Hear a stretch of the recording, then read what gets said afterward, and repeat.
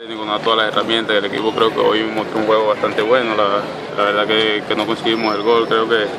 que también parte que los equipos, sabemos que los equipos con los que enfrentamos siempre vienen a,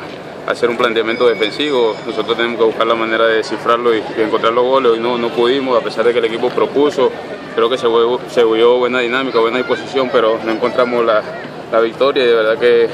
el fútbol es así, el que, no triunfa siempre va a ser criticado, siempre va a haber algo malo que, corregir y nosotros tenemos muchísimo para mejorar. En un gol, creo que, defensivamente el equipo se está mostrando bien, hay intensidad en la mitad de la cancha. Los partidos pasados no habíamos tenido esa claridad que tuvimos hoy, la tuvimos de cara a gol, no fuimos concretando, nos encontramos con, un gran guardameta como Toyo, nos encontramos con que aunque la pelota no entró y de verdad que tenemos que mejorar muchísimo de el gol si queremos, si queremos apretar y querer pelear el título. Y está complicado, está complicado, está reflejado en los puntos que llevamos, creo que, es bastante duro, de ahora en adelante tendremos obligado a sumar la mayoría de los puntos si queremos salir campeón, nosotros vamos a seguir trabajando para mejorar, todavía eso no viene la Copa Libertadores, hay muchísimo que mejorar, creo que, que cara al gol es lo más, lo más preocupante porque el equipo en defensa se está mostrando bastante bien, tenemos seguridad en el arco, entonces creo que, hay que trabajar muchísimo de cara a gol para conseguir los, resultados.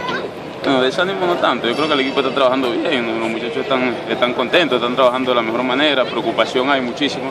preocupación siempre va a existir cuando no se consiguen los resultados y sabemos que, tenemos que trabajar y mejorar muchísimo de cara a la Copa Libertadores, vamos a jugar con equipos donde